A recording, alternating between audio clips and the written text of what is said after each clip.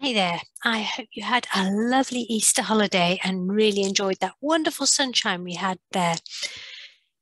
Let's begin our collective worship by welcoming each other back to school with peace. Peace be with you. And now, whilst you get yourself comfortable, I'm going to light our virtual candle.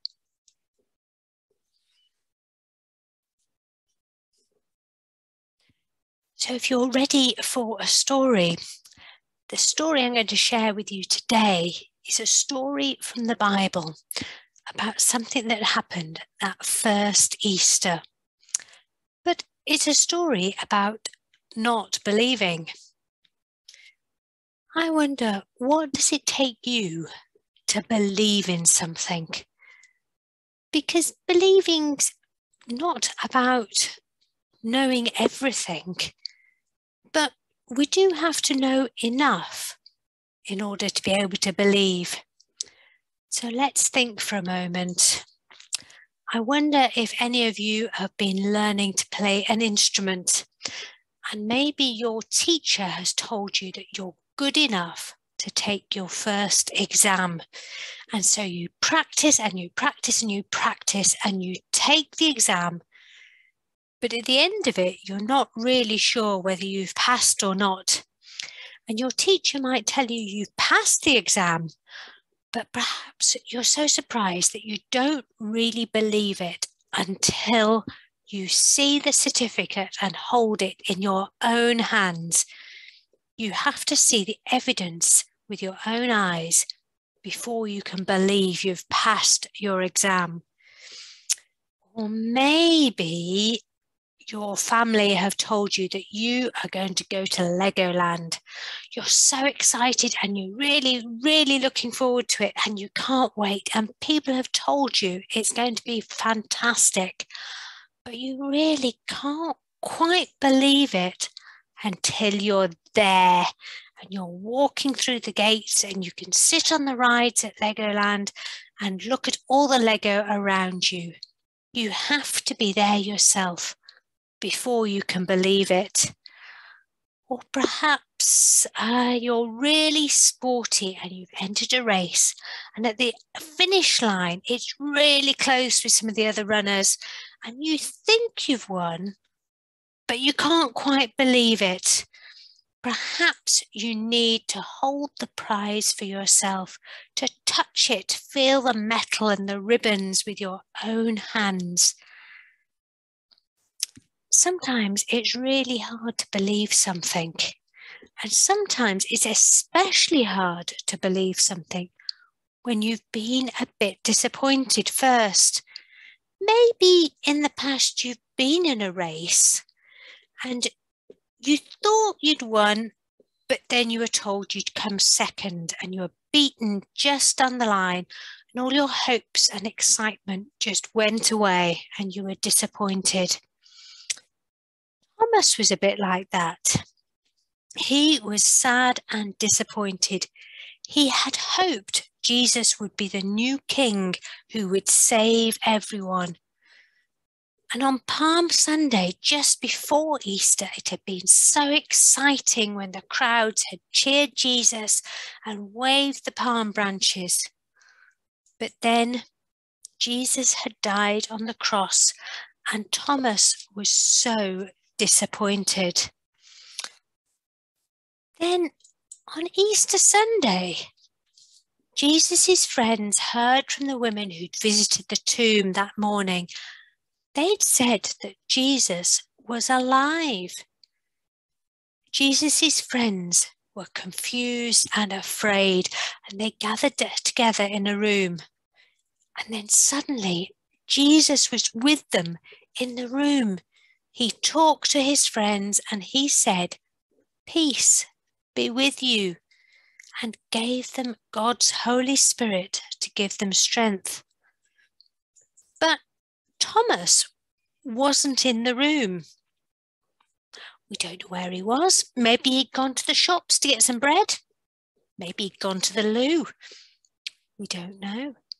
But wherever he'd gone, he'd missed all the excitement and when he got back Jesus' friends told him the news that they'd seen Jesus alive with them in the room.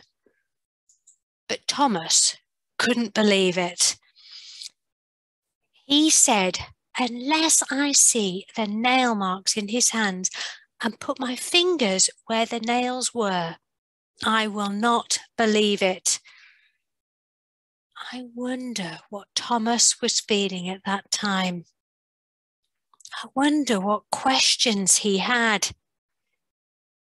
But then, a week later, Jesus' friends were together again, and suddenly Jesus was with them in the room.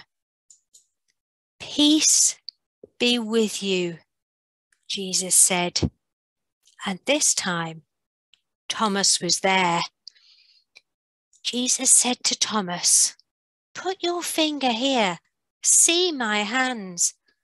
Stop doubting and believe. Thomas was there in person. He could see the evidence with his own eyes and touch Jesus with his own hands. My Lord and my God, said Thomas. He could believe now. Jesus told his friends, You've believed because you've seen me. But how happy will the people be who have not seen and are able to believe. Thomas needed evidence to believe that Jesus was alive with new life. He wanted to see for himself. He'd had lots of questions, I'm sure, and wanted to check things out. But then Thomas believed. And tradition tells us that Thomas went on to travel the world and tell people about Jesus. You can see he traveled from the Middle East, just above Africa, down all the way to India along that red line I've put on the map. And there, wherever he went, he told people about his experiences and helped other people to believe. Thomas served Jesus well and stories outside of the Bible say that by 20 years after Jesus' death and resurrection, Thomas had made his way all the way to India, right to the south of India, and he formed a church there, which still remembers that Thomas came to share his belief with them. And he died in Chennai, where that red circle is on the map, in about 72 AD. And in Chennai, there is still a hill called St. Thomas's Mount with a church on it dedicated to St. Thomas. And so we can remember that Thomas used his intelligence to ask questions and think things through. Thomas was also very honest and shared his doubts he didn't pretend or go along with what others said. But when he had enough evidence, he was courageous enough to change his mind.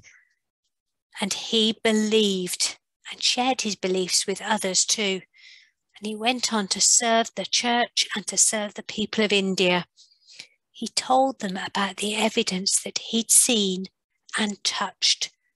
He told them that he was there God's given us brains to think and to ask questions and to find out what we believe.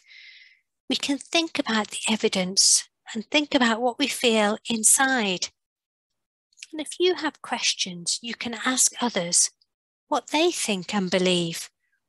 Maybe someone at one of the churches in Richmond. I'm going to finish our collective worship with a short prayer.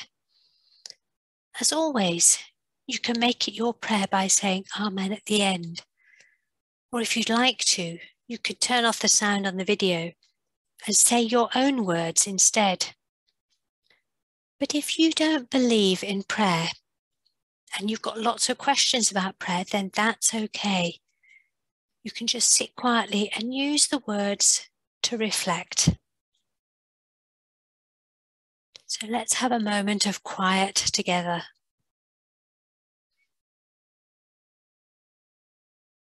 Thank you, God, that we have the power to think, to discover and explore belief. Thank you for Thomas, who shared his beliefs and told people about Jesus. Amen. Thank you for listening. Peace be with you. Goodbye.